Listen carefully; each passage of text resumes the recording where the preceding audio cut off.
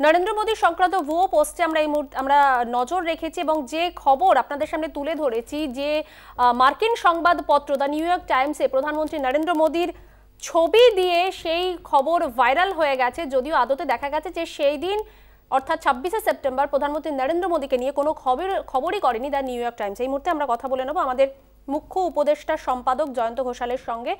আহ, জয়ন্তদা যে বিষয়টা জানতে চাইব যে সেই ছবি ভাইরাল হয়ে গেল যে ছবি আদতে মার্কিন সংবাদপত্র প্রকাশই করেনি কি বলবে? হয় ফেক নিউজ এর থেকে বড় দৃষ্টান্ত আর কি হতে পারে?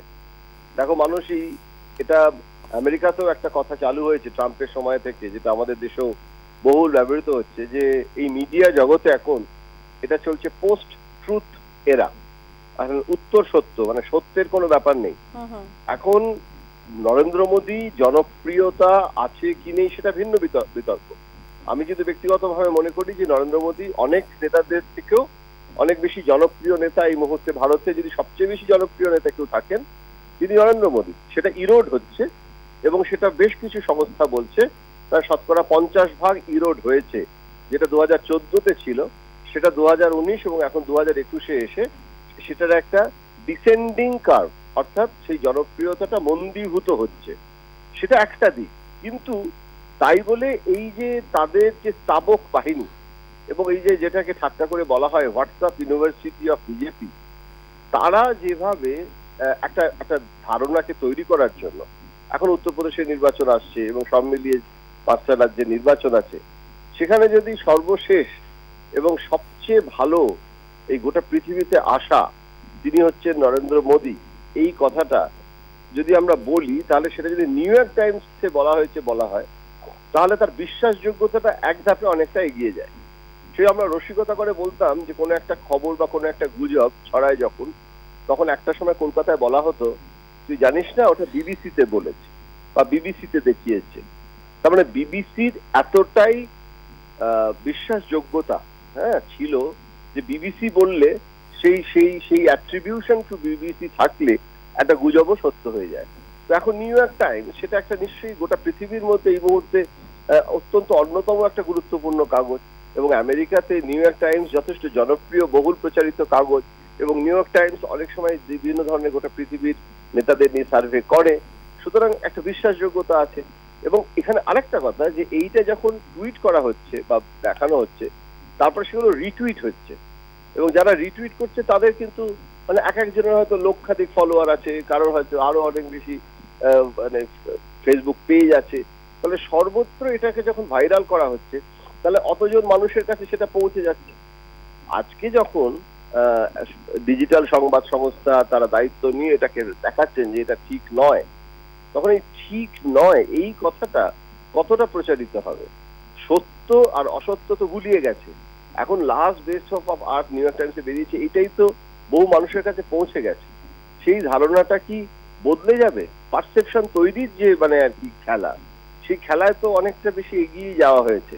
তো এইটা হচ্ছে আজকের দিনের প্রবণতা, এটা খুব ভালো দৃষ্টান্ত যে কীভাবে মিডিয়ার মাধ্যমে একটা অল্টারনেট ট্রুথ যেটা ট্রুথ নয়, সেটা একটা বিকল্প সত্য, একটা মিথ থেকে তৈরি করে তার ভিত্তিতে একটা জনপ্রিয়তা তৈরি করা হচ্ছে। এটা খুব দুর্ভাগ্যজনক। আমি বারবার বলছি যে নরেন্দ্র মোদীর জনপ্রিয়তা নিয়ে প্রশ্ন করছি না, কিন্তু এই যে পদ্ধতি, যে পদ্ধতিতে ফেক নিউজ ছড়িয়ে তাকে আরও বেশি করে জনপ্রিয়তার একটা ফানুষ তৈরি করা, সেটা কিন্তু অবাঞ্ছিত মানে একদমই এটাকে সাপোর্ট করা যায় না। বরং এটা যে অসত্য, তার জন্য একটা সবাই মিলে তার বিরুদ্ধে একটা প্রচার হওয়া খুব জরুরি। তাহলে সাংবাদিকতাটা রক্ষা পায়। আর তা না হলে এটাই সাংবাদিকতা হয়ে দাঁড়াবে, মানসিক। জয়ন্তদা, এই ঘটনায় কি আন্তর্জাতিক মহলে ভারতের মুখ পড়ল না? কি বলবে? মানে আমেরিকাতে আজকে যে বসে আছে। যারা নিউ ইয়র্ক টাইমস কিংবা লস অ্যাঞ্জেলস টাইমস কিংবা ওয়াল স্ট্রিট জার্নাল কিংবা তাদের পাঠক, তারা যখন এই খবরটা পড়বে বা জানবে, কেননা এখন তো খবর পড়তে বা জানতে আর খুব বেশি অসুবিধা হয় না, পৃথিবীটা ছোট হয়ে গেছে। কেননা ওই যে একটা ডাব্লিউ ডাব্লিউ ডাব্লিউ বলে একটা বিষয় বেরিয়েছে। হ্যাঁ সেইটা হওয়ার পর থেকে তো এখন তো জ্ঞান তো খুব দ্রুতগামী হয়ে গেছে। আগে ভারতে কি হচ্ছে সেটা আমেরিকায় জানতে অনেক সময় লাগতো। ভারতকে যে কারণে বহুদিন ধরে পৃথিবীর অনেক সভ্য দেশ মনে করেছিল ওটা বোধহয় খুব একটা সভ্য দেশ নয়, সাপ আর বাঘ আর জন্তু জানোয়ারদের দেশ আফ্রিকার সঙ্গে তুলনা করতো। আজ তো পৃথিবীটা বদলে গেছে। আজকে এই সভ্যতার এই যে কমিউনিকেশন সেখানে এই যে ফেকটা যে হয়েছে, এবং নিউ ইয়র্ক টাইমস এর নাম ব্যবহার করে হয়েছে এবং সেটা শুধু এনআরআই ভারতীয় নয়, আজকে কিন্তু আমেরিকানরাও সেটা জানতে পারবে। এবং সেখানে এই যে প্রচেষ্টা বা এই যে প্রবণতা, এইটা যে কতখানি মানে হাস্যকর মানে আজকে ঠিক এই জায়গাটা যদি ভাবা যায় যে নিউ ইয়র্ক টাইমসে বেরোয়নি, বাইডেন সম্পর্কে এই কথাটা লিখে এই একই জিনিস যদি ভাইরাল হতো, তাহলে কি হতো? তাহলে আমেরিকাতে কি প্রতিক্রিয়া হতো? মানে নরেন্দ্র মোদীর জায়গায় যদি বাইডেনকে এটাকে ব্যবহার করা হতো। সুতরাং আমার মনে হয় যারা এটা করেছে, সে ব্যাপারে একটা তদন্ত হওয়া উচিত। এবং নরেন্দ্র মোদী নিজের স্বার্থে, কেননা ওনার জনপ্রিয়তা তো আছে, এমন নয় যে ওনার জনপ্রিয়তা নেই, কেউ তো বলছে না সেটা। জনপ্রিয় বলেই তো আজকে এতদূর যেতে পেরেছেন উনি। তাহলে এই জিনিসটা যারা ব্যবহার করছে এরকম ভাবে অপব্যবহার করছে, সেইগুলো তদন্ত করে দেখা উচিত। একটা আইটি মিনিস্ট্রি আছে এবং বিজেপিরও একটা আইটি সেল আছে। কে করল, কারা করল, যারা করেছে তাদের বিরুদ্ধে একটা শাস্তিমূলক ব্যবস্থারও দলের পক্ষ থেকে নেওয়া দরকার। কেননা যেটা সত্য সেটা প্রচার একরকম। আর অসত্য প্রচার যদি ধরা পড়ে গেছে, এবং সেখানে কিন্তু এটা নরেন্দ্র মোদীর বিরুদ্ধে যাচ্ছে, এবং গোটা পৃথিবী জুড়ে যাচ্ছে, যেমনটা তুমি বললে মানুষ সুতরাং আমার মনে হয় যে এগুলোর ব্যাপারে তদন্ত হওয়াটা উচিত, এবং যথা মানে যথ একটা শাস্তি দেওয়া উচিত যারা এটা করেছে ঠিক এই জায়গাটাই তোমাকে প্রশ্ন করব, যে যদি তর্কের খাতিরে ধরেই নিই যে বিজেপি শিবির করেছে, গেরুয়া শিবির এই কাজ করেছে, তাহলে কি উদ্দেশ্য তাদের এই কাজ করার পেছনে? যেই করে থাকুক, বিজেপি দলগতভাবে করেছে নাকি অত্যুৎসাহী ব্যক্তিগতভাবে কিছু লোক করেছে? অনেক সময় সূর্যের থেকে বালুর তাপ অনেক বেশি হয়ে যায় এবং সূর্যকেই সামলাতে হয় তখন সেই বালুর তাপকে। এখন এই যে যারা স্তাবক বৃন্দ যারা এটা করেছে, সেটা দলগতভাবে, আনুষ্ঠানিকভাবে একটা ডিসিপ্লিন ওয়েতে করা নাকি এটা একটা মানে হয়ে গেছে কোন একটা অত্যুৎসাহীদের জন্য সে বিতর্কেও আমি যাচ্ছি না। কিন্তু এটা যেটা তুমি বলছো, এটা নিয়ে কোনো সন্দেহ নেই যে এটাতে বিজেপির লোকসান হলো। এটাতে কোনো সন্দেহ নেই যে নরেন্দ্র মোদীরও লোকসান হলো। তার কারণ একটা ভুয়ো পোস্ট কিন্তু একটা ধারণা তৈরি করে যে তাহলে অন্য যে পোস্টগুলো সেগুলোতেও ভুয়ো থাকতে পারে।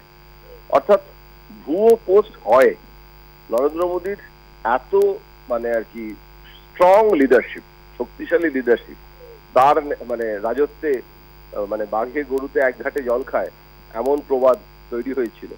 সেখানে এই ধরনের ভুয়ো পোস্ট যদি পার্টি করে প্রধানমন্ত্রীকেই মানে আর কি এম্বারাসড করেন?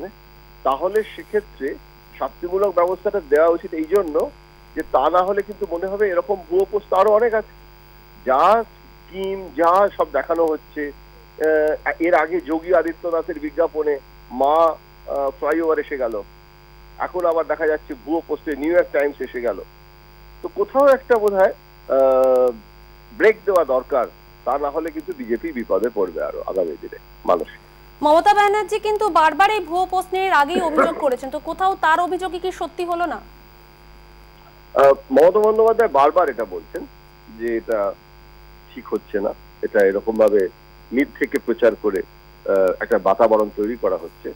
সেই কারণে মমতা বন্দ্যোপাধ্যায়ের কথাটাই যে যুক্তিসঙ্গত এবং মমতা বন্দ্যোপাধ্যায় যেটা বলছেন তার সত্যতাও এই ঘটনার মধ্যে নিঃসন্দেহে সেটা প্রমাণিত হলো মানুষ ধন্যবাদ জয়ন্তদা, আমরা কথা বলছিলাম আমাদের মুখ্য উপদেষ্টা সম্পাদক জয়ন্ত ঘোষালের সঙ্গে।